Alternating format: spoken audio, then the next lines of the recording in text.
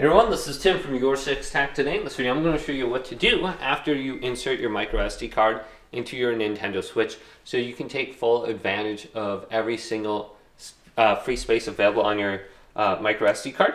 So sometimes you might actually have some information left over from like maybe you have it plugged into a phone or a digital camera or something like that and you're not getting all the information off there and when you go to data management and you look at it well, it's not showing the accurate representation of how much space is on that micro SD card. So mine says um, close to 60 gigabytes, and it's a 64 gigabyte micro SD card. So that's pretty good. We want to go to System Settings and then scroll on down. So you can see System, scroll on down to Formatting option, and then go to Format micro SD card. This is going to delete all the data, and it's going to be formatted so it can be used on the Nintendo Switch. And then go to Continue so I just did this and I only had like maybe 40 gigabytes of free space available on my Nintendo Switch.